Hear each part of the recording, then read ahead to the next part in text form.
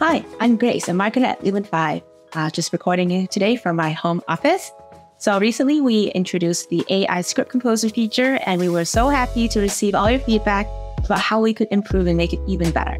So today I'm actually going to show you one of the new features that we've introduced uh, to support script composer, which is the tone and duration controls.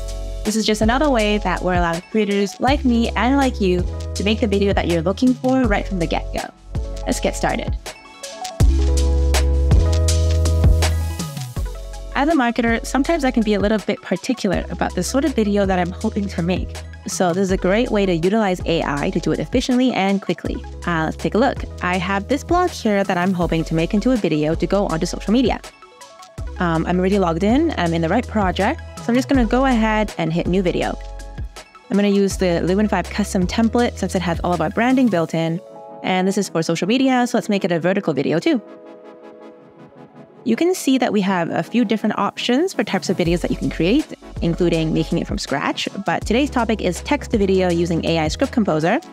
So just like you've probably done before, uh, grab the URL and just import it. If I have my own script already, I'm just going to paste it in and ask 5 to use all of my sentences.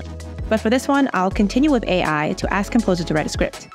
So this is where you can do a lot to make the Composer script your own. The article is a little bit long, uh, so it's giving me a couple of options to focus in on just one aspect. I'm a little bit particular because this article could be repurposed a bunch of different ways. So let's go ahead and try out those new tone and duration controls and input some text prompts to see if I get the script the way that I like. I'm going to ask the AI to focus in on leveraging AI for business um, and reduce the amount of time spent on the risks. And overall, let's shorten the script. Let's see what it does. So another nice thing about these tools is that I can always go back in and ask it to tweak a little bit more. The video is going to go on Instagram, so I wanted to be a little bit more fun.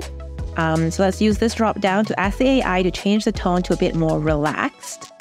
And it'll generate the script for you again. And awesome, this is exactly what I'm looking for. So from here, the process is exactly the same. I'm going to ask the AI to convert it to video. And then once it's done processing, I can always check the source tab to add more parts that I want to include, swap out the design, um, add the images. Like this one, I definitely want to use the uh, blog header image in the video and just tweak it until it's exactly what I want to publish. And that just took me a couple of minutes.